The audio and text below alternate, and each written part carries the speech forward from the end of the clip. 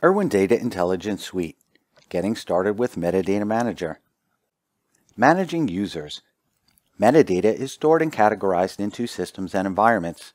Multiple environments are contained in a system. Environments denote databases, flat files, data models, and therefore contain database objects like tables, columns, views, synonyms, etc. You can manage user access to tables and columns in an environment using the Users and Roles tabs. Click the main menu icon.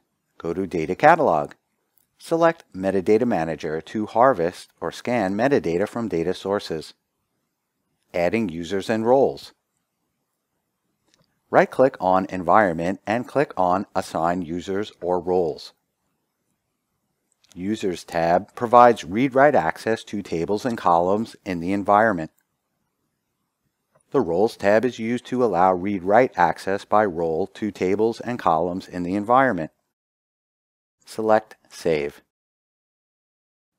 That's it. For more information, please visit erwin.com.